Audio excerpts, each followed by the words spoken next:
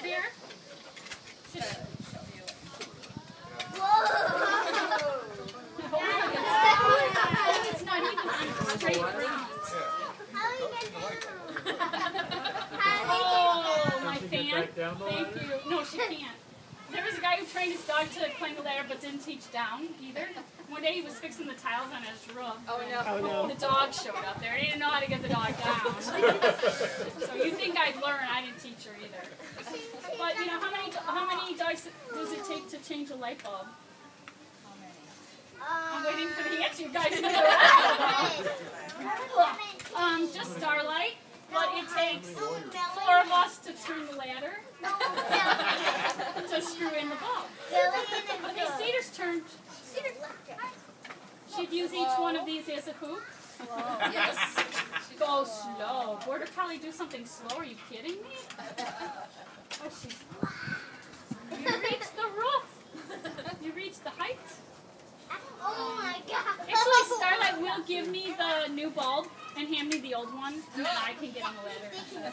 Can you turn it so you can show them why she doesn't fall? I want you to see Starlight.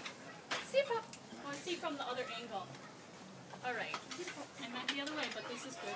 Oh, well, you need bribery for this one. Oh boy. you need bribery too? Yeah. Pray, pray, just get- pray. Go, go. Cedar will clean up what I missed.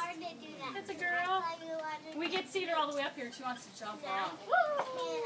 Okay, come on, one more time. Ooh. No, he can't. No, we don't. She curves her paws around so she doesn't really fall.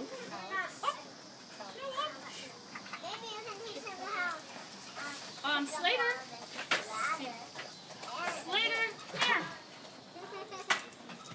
Slater's pretty. Slater, you wait here. See this puppy? Go get the puppy. Where's the puppy? Leash pull. Leash pull. Bring me the puppy. So I call.